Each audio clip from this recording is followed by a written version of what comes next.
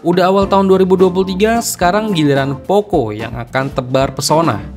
Lewat Poco seri X terbarunya, Poco X5 Pro udah muncul bocoran di beberapa sumber.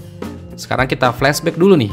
Di Indonesia sendiri udah ada dua series X merek Poco yang udah diluncurkan, yaitu ada Poco X3 NFC dan Poco X3 Pro.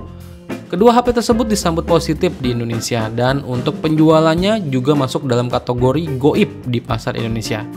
Tapi sayangnya tahun 2022 kemarin Poco Indonesia nggak ngebawa lini series X selanjutnya yaitu Poco X4 series. Banyak yang menyayangkan kenapa Poco Indonesia nggak ngebawa Poco X4 series buat masuk ke Indonesia. Dan kini lewat Poco X5 Pro, apakah Poco Indonesia bisa bawa HP ini ke Indonesia? Kita kawal terus aja ya.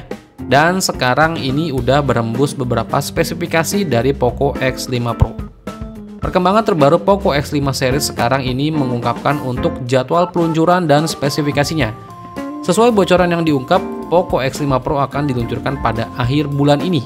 Bocoran ini terungkap setelah kepala Poco Himansu Tenden mengisyaratkan bahwa peluncuran HP Poco yang akan dirilis 2023 yakni Poco X5 series akan terjadi antara Januari dan Februari 2023. Dilansir 91 Mobile, sebelumnya spesifikasi dan fitur Poco X5 series udah muncul di berbagai situs web sertifikasi.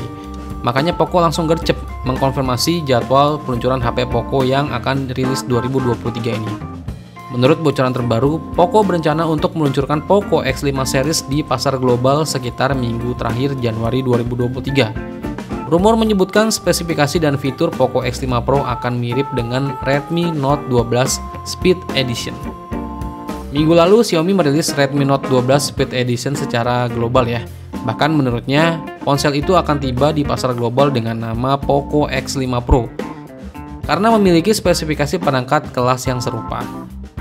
Kalau benar, Poco X5 Pro bakal menggunakan panel Full HD Plus OLED 6,67 inch dengan resolusi 1080 x 2400 pixel. Lalu ada refresh rate adaptif hingga 120 Hz dan udah mendukung sertifikasi HDR10+.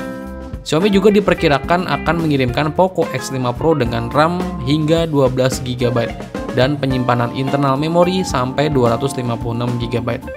Dan untuk jerawanya, ponsel ini akan dibekali dengan chipset Qualcomm Snapdragon 778G untuk baterainya, Poco X5 Pro kabarnya dibekali baterai 5000 mAh dengan dukungan pengisian cepat sampai 67 watt.